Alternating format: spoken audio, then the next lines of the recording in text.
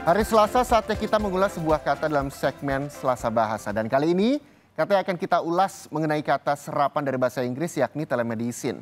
Kata ini menjadi salah satu kata yang penggunaannya meningkat saat pandemi. Untuk itu, yuk kita simak apa arti dari kata telemedicine berikut ini.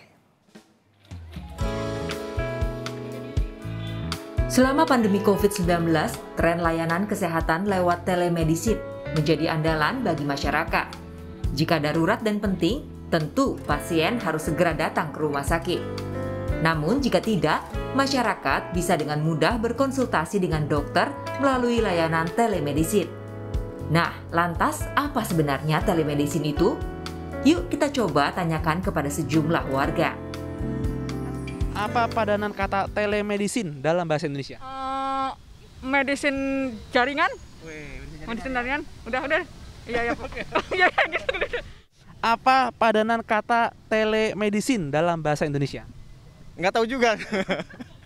Apa padanan kata telemedicine dalam bahasa Indonesia? Telemedicine.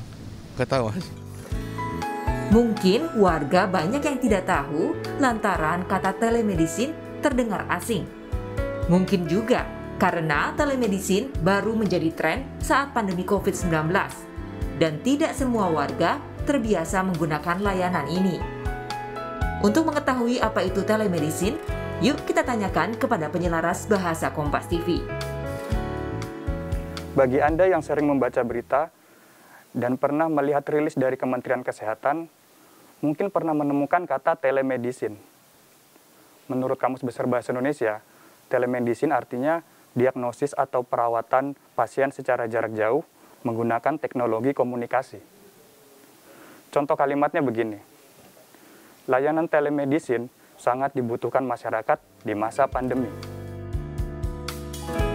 Nah, jika sudah mengetahui arti dari kata telemedicine, Anda juga harus tahu bahwa penulisan kata telemedicine yang benar ditulis dengan huruf S dan diakhiri huruf N, bukan dengan huruf C yang diakhiri huruf E.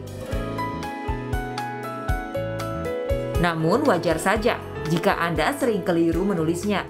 Lantaran di dalam media daring pun banyak yang menulisnya dengan kata bahasa Inggris dan ada pula yang menulisnya dengan kata serapan.